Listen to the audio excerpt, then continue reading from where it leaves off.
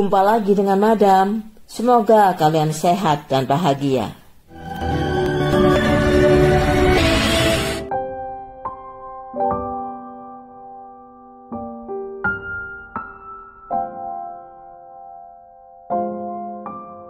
Suatu pagi pada bulan Juli 2003, seorang petani menelpon 911 bahwa dia menemukan sosok mayat wanita di ladangnya. Polisi pun segera meluncur ke TKP. Di lokasi terlihat tubuh wanita muda tergeletak, tidak bernyawa, berusia sekitar 20-an. Polisi pun segera melakukan investigasi TKP, mencari barang bukti.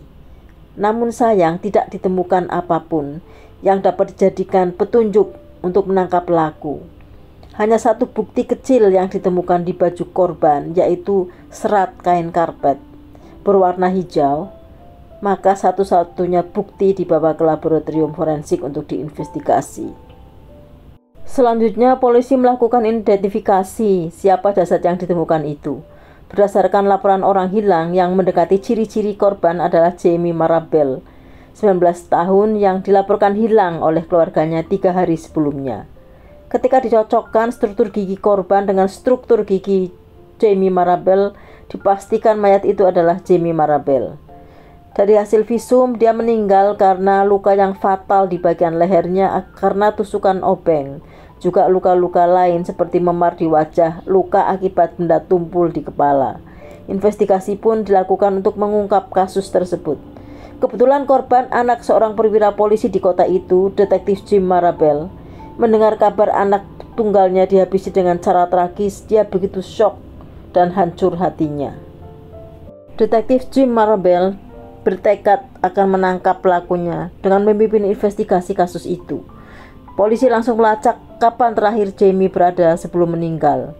Ternyata dia berada di sebuah bar yang bernama Same Oil Jukebox. Menurut keterangan teman-temannya yang satu meja, saat itu korban menerima telepon dari seseorang. Setelah itu bergegas pulang, katanya akan ke rumah sakit. Namun Jamie tidak pernah sampai ke rumah sakit. Dalam usahanya menangkap pelaku yang menghabisi putrinya, apa pun dia lakukan, memasang board, menyebar informasi, memberikan hadiah sebesar 10 ribu dolar atau sekitar 150 juta rupiah. Bahkan menaikkannya menjadi 25 ribu dolar atau sekitar 400 juta rupiah dari dana pribadinya. Pokoknya dia bertekad harus menemukan pelaku yang menghabisi putri yang sangat dicintainya itu. Bahkan teman-teman sesama polisi bercerita bahwa Jim bekerja begitu keras sehingga kadang-kadang mereka ditelepon jam 11 malam hari libur jika ada informasi yang dianggap penting. Detektif Jim terus bekerja keras, namun usahanya sia-sia. Tidak ada sedikit pun petunjuk siapa pelakunya, sehingga dia sangat frustrasi, stres namun dia tetap berusaha untuk mengungkap misteri siapa orang yang bertanggung jawab atas meninggalnya putrinya itu. Rekan-rekannya di kepolisian melihat dia seperti orang yang sudah tidak waras lagi. Menurut teman-temannya sudah tidak ada harapan lagi untuk menemukan pelaku karena minimnya bukti dan tidak adanya saksi.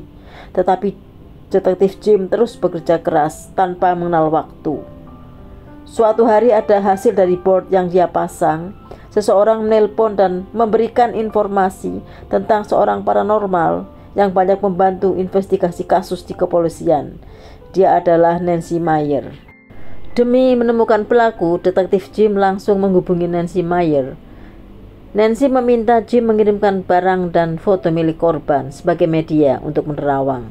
Setelah foto dan barang milik korban sampai, Nancy langsung menerawang Begitu dia berkonsentrasi, dia sudah berada di lokasi dan berada pada dimensi waktu saat peristiwa itu terjadi.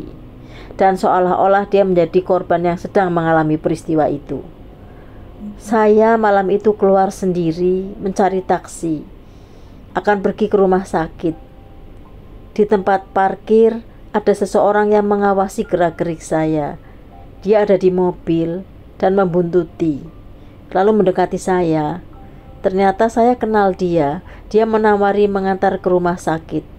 Saya pun naik ke mobilnya. Tapi ternyata dia tidak menuju ke rumah sakit. Dia membawa saya ke suatu tempat yang sepi. Saya bertanya dan protes kenapa dia membawa saya ke tempat lain Dia malah bertanya kenapa saya menolak keinginannya untuk bercinta. Lalu dia mulai melakukan pelecehan kepada saya. Saya meronta dan melawannya, berjuang antara hidup dan mati. Tapi dia terlalu kuat, apalagi dia memegang obeng untuk menyakiti saya. Akhirnya saya dihabisi. Lalu dia menyeret tubuh saya dan membuangnya. Lokasinya dekat tower di pinggir sungai. Itulah yang dilihat dalam penerawangannya. Setelah itu dia menelpon detektif Jim Marabel dan menceritakan apa yang dilihatnya. Detektif Jim sangat heran karena gambaran yang diberikan Nancy tentang peristiwa yang terjadi pada putrinya nyaris sempurna. Nancy mengatakan bahwa Jamie pergi ke rumah sakit dengan orang yang dikenalnya. Detektif Jim menduga barangkali yang dimaksud Nancy, teman sekolah putrinya waktu SMA. Maka detektif Jim membuka album foto SMA milik putrinya itu. Dia ingat Jamie pernah ada masalah dengan salah seorang teman SMA-nya yang bernama Snick. Snick pun diinterogasi, tetapi dia mengatakan bahwa pada saat kejadian dia berada di Nashville, sekitar 60 km dari TKP. Dia juga bersedia melakukan tes uji kebohongan dan ternyata dia lulus. Kesimpulannya dia bukan pelakunya. Sementara itu hasil investigasi terhadap barang bukti yang ada di TKP berupa serat yang berasal dari karpet memberikan petunjuk yang cukup signifikan. Berdasarkan hasil penelitian laboratorium forensik, ternyata serat itu berasal dari mobil Chevrolet Chevy 1500 keluaran tahun 1994. Sayangnya di seluruh Amerika ada sekitar 50.000 mobil Chevrolet jenis itu, sehingga tidak mungkin mengeceknya satu persatu untuk mengetahui pemiliknya.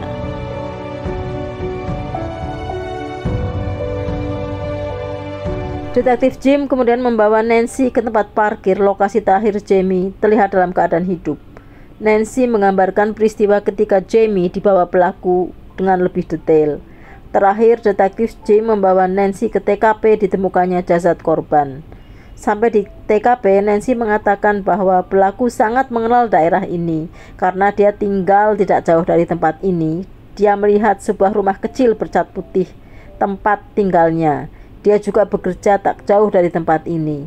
Dia melihat mobil pick-up Chevrolet berwarna putih dan dia juga melihat ada seekor anjing yang menggonggong. Detektif Jim lalu berkeliling sekitar wilayah itu mencari mobil pick-up Chevrolet berwarna putih.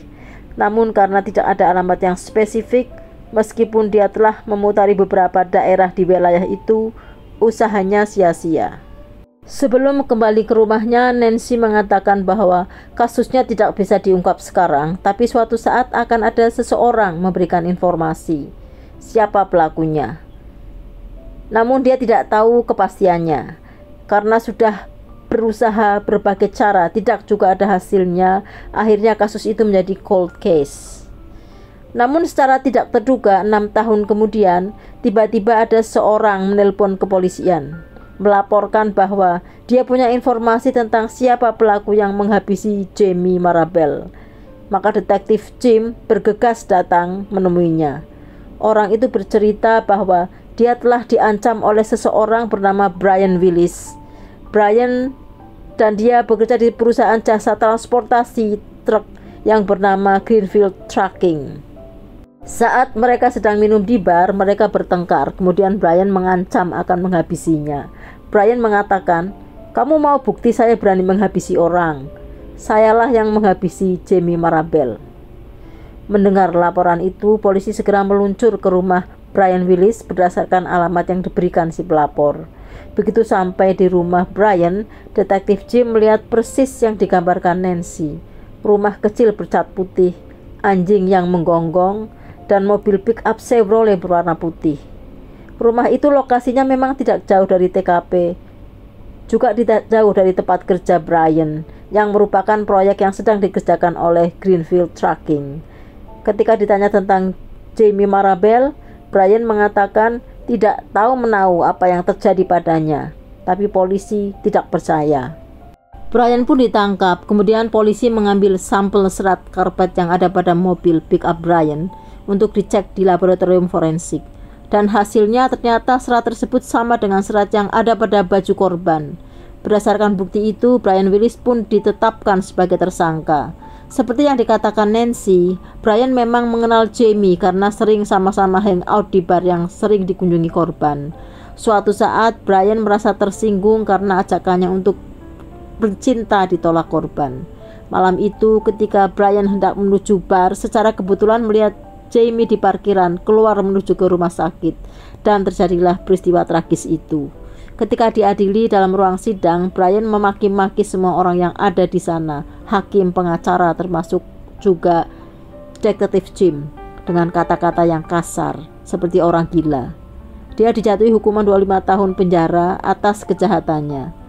Detektif Jim merasa sangat lega, akhirnya putri yang dicintainya bisa mendapat keadilan. Sekian dulu guys, semoga kita bisa mengambil hikmah dari cerita ini dan terima kasih sudah menyaksikan.